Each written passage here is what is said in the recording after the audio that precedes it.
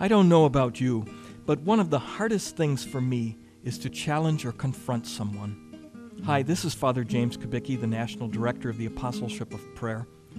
There was some conflict in my family when I was growing up, and so I have a real aversion to conflict. I'm not talking about shouting or yelling, but just simply confronting people about things they're doing wrong or not doing. Somehow, I guess even those small conflicts tap into memories of painful past conflicts. Or maybe I'm just afraid of being rejected.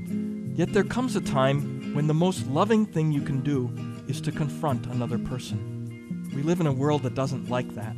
Our world tends to say, let's all just get along. You've got your truth and I've got mine. Let's practice tolerance. And yet there comes a time when we encounter the intolerable.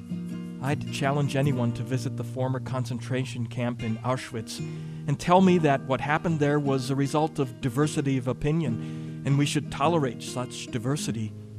Jesus is pretty clear in today's gospel that there comes a time to confront others who are sinning. You do so not because you're better than they are, but because there is truth and falsehood, right and wrong. And the most loving thing you can do for people who are hurting themselves and others with their sinful behavior is to confront them. But the key is to do so as Jesus would, with love, hoping to help the other see the problem from another perspective and to change. Father Kubicki is the National Director of the Apostleship of Prayer. For prayer resources and other information, visit our website at www.apostleshipofprayer.org.